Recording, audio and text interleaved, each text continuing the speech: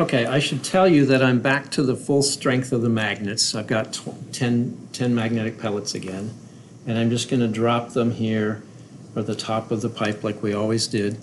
The height now I've measured is 8 centimeters. Logger Pro up. Hit collect.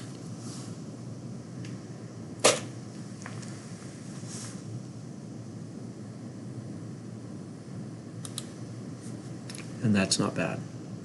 I will save this as trial 20.